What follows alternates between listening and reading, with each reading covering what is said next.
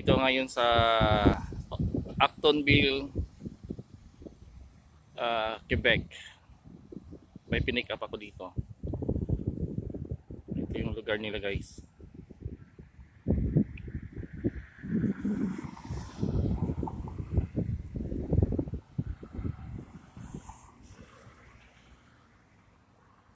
Kumain ako saglit tapos ito video konti tapos babiyahin ako. May hatid ako sa kitchen at galing yung load ko dito ihatid ko sa kitchen tayo Canada.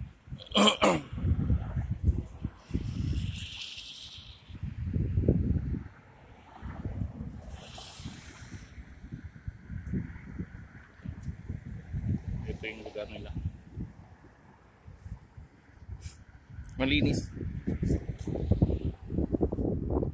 galing ako kanina sa Montreal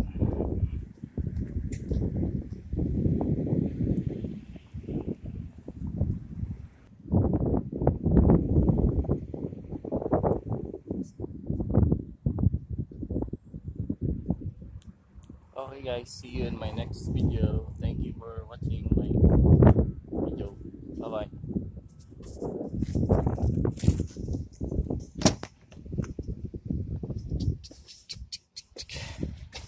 May magandang Volkswagen dun.